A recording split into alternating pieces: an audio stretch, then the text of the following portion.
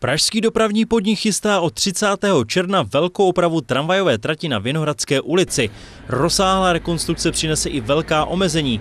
Tramvaje tak zmizí z ulic na několik měsíců. Eh, dopravní podnik plánuje zrekonstruovat eh, zhruba 700 eh, metrů tramvajové trati v úseku Hradecká Želivského a to od 30.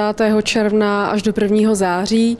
V příštím roce od března do července navážeme na druhou etapu této rekonstrukce ve Vinohradské ulici. Kvůli opravám v úseku Hradecká Želivského bude omezena tramvajová doprava v obou směrech na trase Želivského IP Pavlova.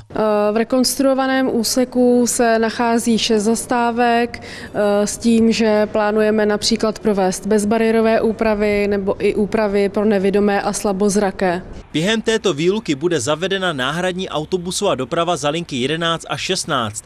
Tramvajové linky 10 a 13 budou dočasně zrušeny. Zároveň zavedeme i speciální tramvajové linky 36 a 90. Pražský dopravní podnik počítá z náklady na celkovou rekonstrukci ve výši 250 milionů korun. David Vilček, Televize Praha.